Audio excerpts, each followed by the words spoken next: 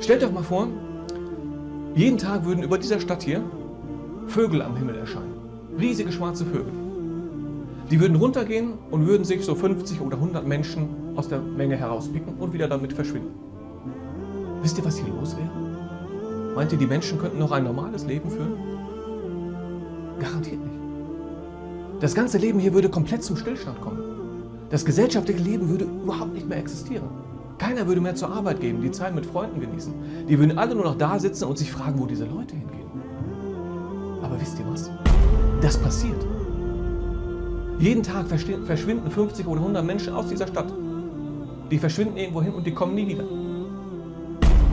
Aber die Menschen machen sich keine Gedanken darüber. Die Menschen bereiten sich auf alle möglichen Dinge in ihrem Leben vor. Du siehst Leute, die sind 19 Jahre alt, die haben gerade ihre Ausbildung beendet. Die treffen Vorbereitungen für ihre Rente. Für die Rente mit 67 Jahren. Und die wissen gar nicht, ob sie dieses Alter erreichen. Die Menschen schließen alle möglichen Versicherungen ab. Gegen Diebstahl, Feuer, Haftpflicht, was auch immer. Und die wissen gar nicht, ob überhaupt jemals so ein Fall eintritt, dass sie diese Versicherung benutzen können. Die einzige Sache, von der jeder Mensch weiß, dass sie ihm garantiert passiert, da treffen die Menschen überhaupt keine Vorbereitung. Das ist irgendwie erstaunlich. Es gibt nur eine Sache, von der jeder Mensch weiß, dass sie ihm garantiert passiert. Und das ist, dass er irgendwann stirbt.